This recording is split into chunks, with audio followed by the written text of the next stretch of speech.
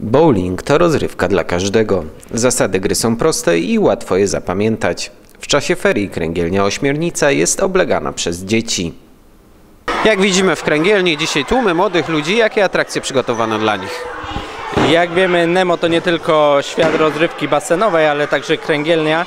W tym roku przygotowaliśmy specjalną ofertę na okres ferii skierowaną do osób do 26 roku życia. Oferta nazywa się Bilet Paczka.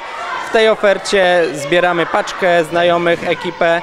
Możemy skorzystać z godziny toru na kręgielni w cenie 35 zł.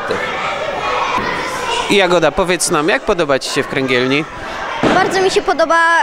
y, Chcemy spróbować zawalczyć o wygraną i dopingujemy wszystkim, żeby było. No, żebyśmy się cieszyli z tej zabawy, bo to chodzi tylko o zabawę. No i kręgielnię dzisiaj odwiedzacie w ramach zajęć podczas e, ferii. Co można robić w mieście podczas ferii?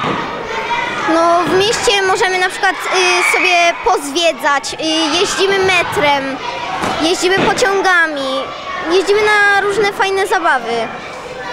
I bardzo się z tego cieszymy, bo wszyscy lubią takie rzeczy i no wiadomo, że pani próbuje, żebyśmy mieli bardzo fajnie. No a w jaki sposób byś zachęciła rówieśników, żeby, żeby jednak wyszli z domu? Dlaczego warto podczas ferii wyjść z domu? Podczas ferii warto wyjść z domu, no bo w domu prawie nie ma roboty żadnej, tak? No bo na przykład y, u pani, jak byliśmy w Bystrzaku, no to na przykład robiliśmy do, y, doniczki, kwiatki sadziliśmy. Bardzo fajne rzeczy pani wymyśliła, pióropusze. Zachęciłabym, żeby tak zapisać się na takie półkolonie, bo nam się bardzo podoba. Kacper, pierwszy raz na kręgielni? Nie, drugi. No i co, jakie wrażenia, jak się gra? Dobrze, ogólnie teraz to mam jakiś taki trochę kłopot, bo mnie teraz kule są na mnie trochę za małe.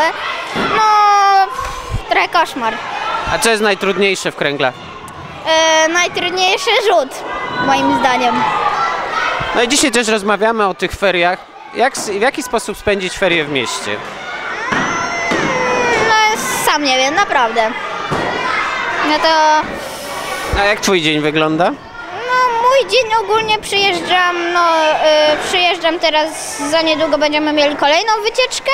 E, teraz, no jutro dokładnie, e, to jest no przedostatni mój dzień e, na feriach tutaj. E, no i ogólnie jest okej, no bo trochę się tam pobawimy. Ogólnie jest okej. Zachęcamy do odwiedzania kręgielni nie tylko w czasie ferii.